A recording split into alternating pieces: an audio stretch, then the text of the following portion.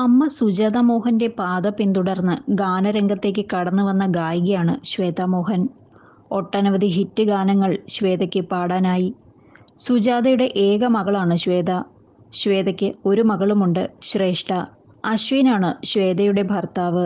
അശ്വിന്റെ സഹോദരി ആരതിയും ശ്വേതയും പഠനകാലത്ത് സുഹൃത്തുക്കളായിരുന്നു. ഈ പരിചയമാണ് പിന്നീട് പ്രണയത്തിലേക്കും വിവാഹത്തിലേക്കും വരെ എത്തിയത്. അമ്മ സുജാതയെക്കുറിച്ചും അശ്വിനെക്കുറിച്ചും സംസാരിക്കുകയാണ് ശ്വേത. ഭർത്താവ് തനിക്ക് ഏറ്റവും വലിയ പിന്തുണ നൽകുന്ന ആളാണെന്ന് ശ്വേത പറയുന്നു. ഭർത്താവിന്റെ മാതാപിതാക്കളും തന്നെ വളരെയധികം പിന്തുണയ്ക്കുന്നു.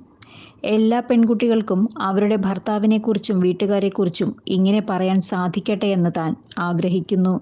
അങ്ങനെയെങ്കിൽ ലോകം വളരെയധികം പുരോഗമിക്കുമെന്നും ശ്വേതാമോഹൻ ചൂണ്ടിക്കാട്ടി. അശ്വിന്റെ സഹോദരിയുമായി അടുത്ത സൗഹൃദം തനിക്കുണ്ടായിരുന്നെന്ന് ശ്വേത പറയുന്നു. പഠനകാലത്തുണ്ടായ ഒരു സംഭവത്തെക്കുറിച്ചും ശ്വേത സംസാരിച്ചു. ഒരു സംഗീത മത്സരം ഉണ്ടായിരുന്നു. അതിനായി തയ്യാറെടുപ്പ് നടത്തി.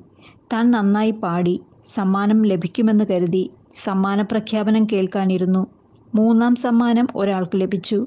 തന്റെ കൂടെ ആരതിയും വന്നുണ്ട്. ഒന്നാം സമ്മാനമോ രണ്ടാം സമ്മാനമോ തങ്ങൾ ഉറപ്പിച്ചു. എന്നാൽ രണ്ടാം സമ്മാനം ഒരാൾക്ക് ലഭിച്ചു. ഒന്നാം സമ്മാനമോ എന്ന് ഞങ്ങൾ അതിശയിച്ചു. എന്നാൽ ഒന്നാം സമ്മാനത്തിന് വിളിച്ചത് മറ്റൊരാളുടെ പേരും തന്റെ മനസ്സുടഞ്ഞു. നന്നായി പാടിയല്ലോ അത്രയും മോശമായാണോ പാടിയത്? എന്നൊക്കെ ചിന്തിച്ചു. ഇതിനിടെ മൈക്കിൽ മറ്റൊരു അനൗൺസ്മെന്റ് വന്നു. ഈ മൂന്ന് പേർക്കുമാണ് സമ്മാനം.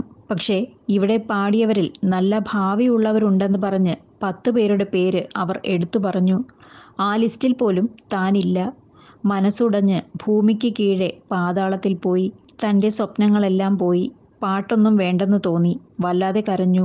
തന്റെ കരച്ചിൽ കണ്ട് ആരതി നിന്നെ ഇങ്ങനെ വിട്ടിട്ട് പോകില്ല. എന്റെ കൂടെ വീട്ടിലേക്ക് വാ. അവിടെ നല്ല ഗാർഡൻ ഉണ്ട്. റിലാക്സ് ചെയ്യാമെന്ന് പറഞ്ഞു. അങ്ങനെ അവളുടെ വീട്ടിലേക്ക് ചെന്നു.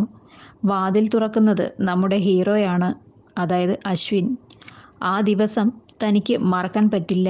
തന്റെ ജീവിതത്തിലെ നല്ല കാര്യവും മോശം കാര്യവും ആ ദിവസമാണ് സംഭവിച്ചതെന്നും ശ്വേതാമോഹൻ ചൂണ്ടിക്കാട്ടി.